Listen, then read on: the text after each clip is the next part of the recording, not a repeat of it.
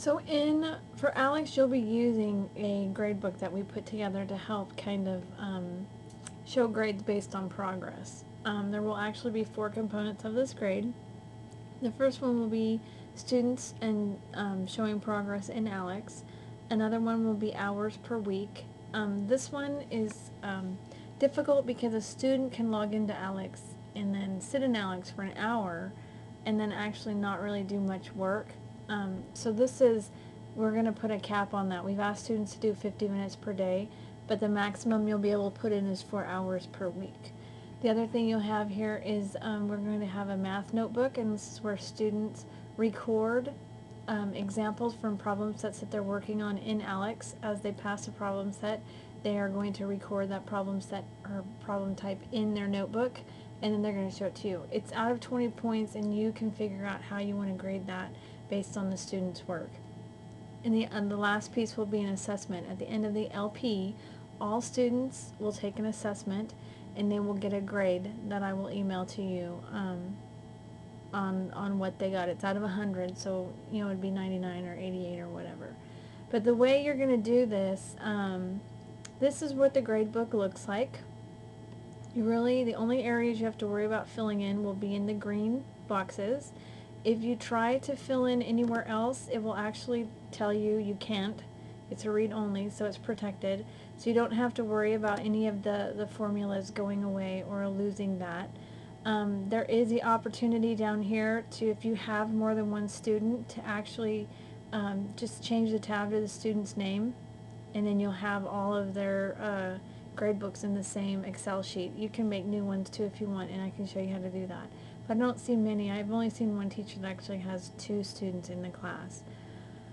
Okay, so uh, what data are you going to use to do the grade book?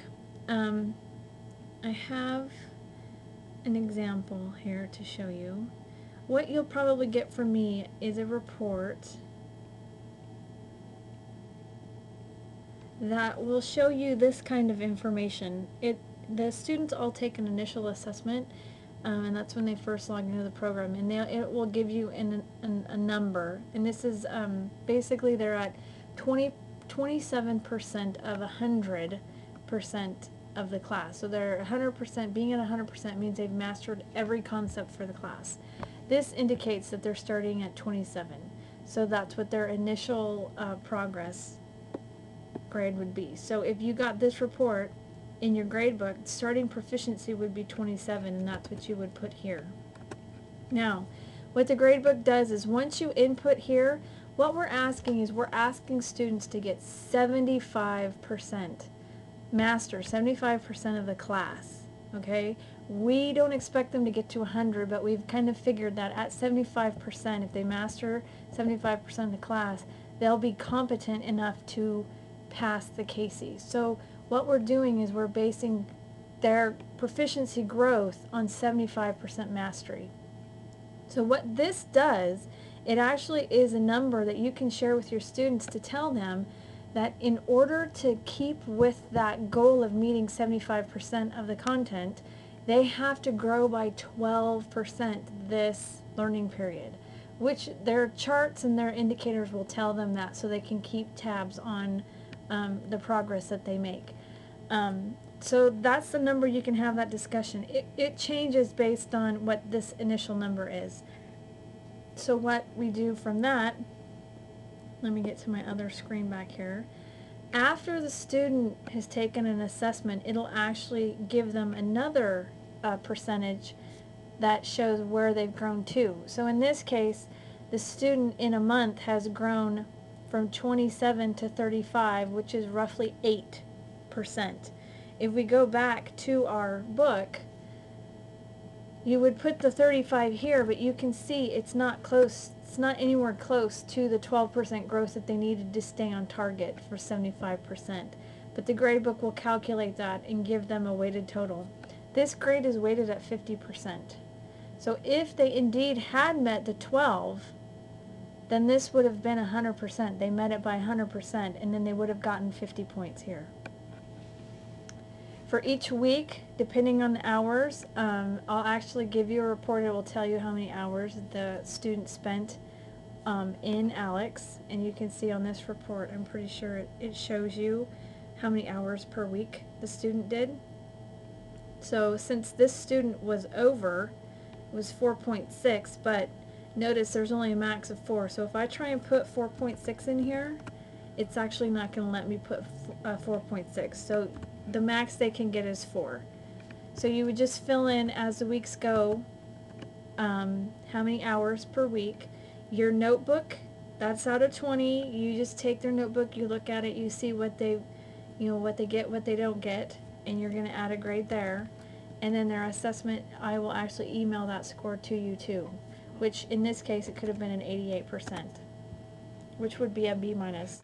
So as you can see, once you put in all the grades, um, it'll automatically calculate what the letter grade is. Now there are two um, grades here. This is a snapshot for the LP. So this is what they got in the LP. And then what you get is a, a progress grade.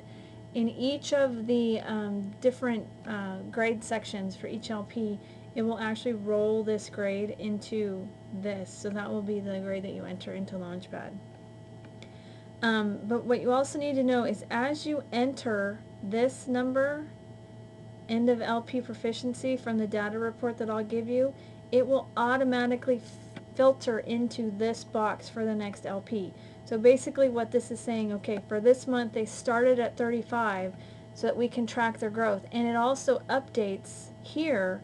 So because a student didn't meet the target here, and they got only 66% growth, it's added on right here. So in order for them to get 100% growth, this is where they need to they need to grow by 13.33%. And then if, once you put in the number in this box, then it'll feed into this box and so on. And just to show you how it works, let's say the student did grow um, and actually got 48. So you can see he almost, uh, almost hit 100%.